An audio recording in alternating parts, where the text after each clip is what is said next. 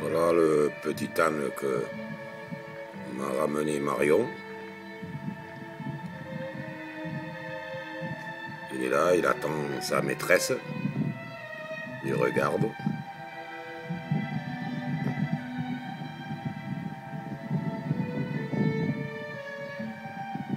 Je vais lui donner à bouffer parce qu'elle ne va pas s'en occuper. Il est évident qu'elle ne va pas s'en occuper.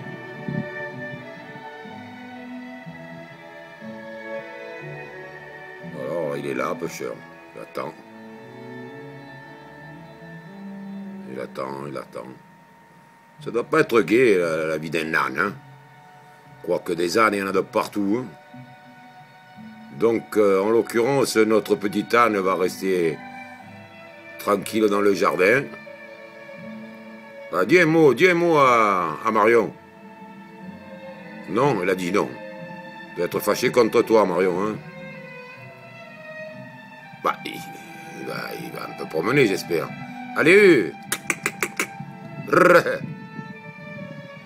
Comment on va l'appeler? Le cher. Ah mais bon. Un petit peu, allez, broute, broute. Ça va économiser l'électricité, la tondeuse. Puis moi, j'ai pas que ça à faire. Hein.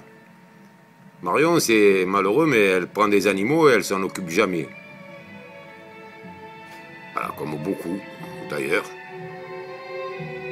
Alors ne prenez pas des animaux chez vous si vous n'en occupez pas. Hop là, pêcheur, là. Là, il y a embrouille, là. Voilà. Voilà, allez mon petit, vas-y. Allez, avance, avance, avance. Voilà. Appelle-la. Marion, Marion. Oui, appelle-la. Elle va venir, elle va venir. Elle va te porter à manger, à boire. Elle va te laver, te caresser. Bon, ben écoutez, hein, on va laisser notre petite Anne tranquille et notre petite Marion.